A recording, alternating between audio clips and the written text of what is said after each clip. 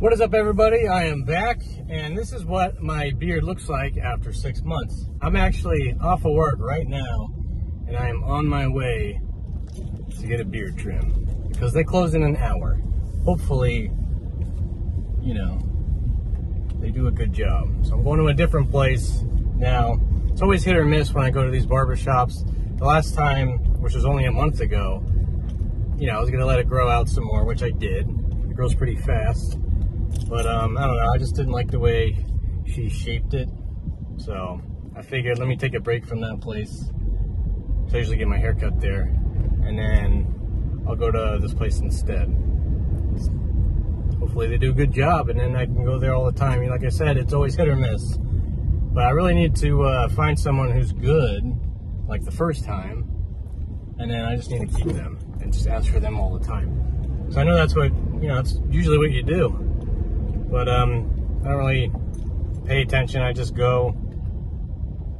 Whoever cuts my hair or my beard, it's whoever. I am starving. Gotta get the sun out of my face and zoom in here. And then uh, the before is right now, and then the after is gonna be in just a second. Here's the after. It is the next day. Um, I guess I'm getting used to the, the beard trim. I was actually liking how my beard was looking. Thought I would go in, do a quick like short beard trim, but instead the guy that helped me was like a Limp Bizkit wannabe and walked extremely slow, as high as hell. So I'm surprised, you know, my beard even looks like this. I thought it was gonna be crooked, but he literally just gave me what he had.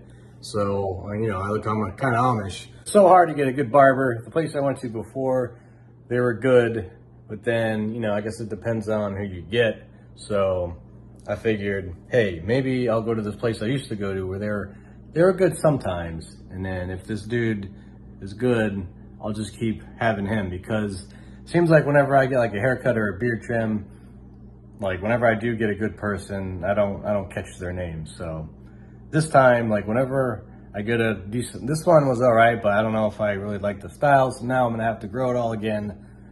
Um, which I grow my beard pretty fast, but the only thing I am gonna you know, that's, that's what I like about it is the, the trim mustache. So it'll be good like eating. Cause one thing I hate about having a beard is trying to eat.